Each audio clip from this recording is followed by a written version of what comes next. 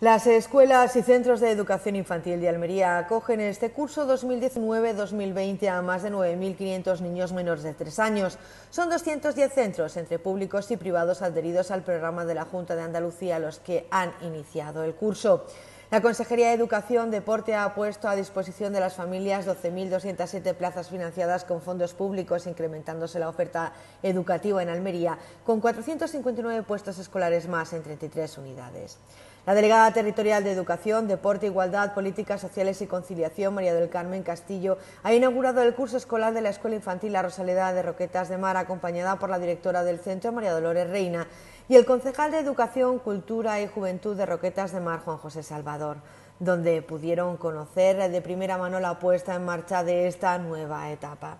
La delegada destaca la importancia que tiene esta etapa, además de por la contribución a la conciliación familiar y laboral, por su carácter educativo, dado que tiene como objetivo contribuir al desarrollo físico, afectivo, social e intelectual de los niños y donde la colaboración de las familias con el centro es fundamental. Andalucía destinará este año más de 315 millones de euros al primer ciclo de educación infantil, 13 millones más que en el anterior, lo que la convierte en la comunidad que invierte más en este nivel. El índice de escolarización se sitúa ya en el 47% de la población de 0 a 3 años y supera en 14 puntos la tasa del 33% marcada por la Unión Europea como objetivo para 2020.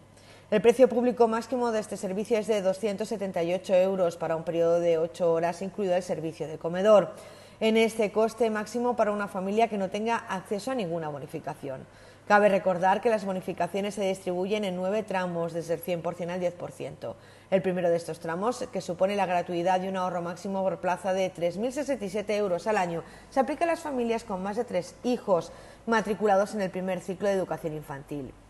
las que tienen víctimas de violencia de género o terrorismo, las que presentan riesgo de exclusión social o carencias y dificultades en la atención de las necesidades básicas de los menores y aquellas con renta per cápita inferior al 0,5% del IPREM. Según las previsiones de la Consejería, este curso se beneficiarán de la gratuidad total cerca de la mitad de las familias y además en torno al 45% recibirán alguna bonificación. La Consejería ha puesto en marcha este año novedades en el proceso de escolarización dirigidas a facilitar el acceso al primer ciclo. Desde este año, las familias han podido solicitar, además de centro prioritario, tres más de forma subsidiaria en los centros de titularidad de la Junta y en todos los adheridos al programa de ayuda.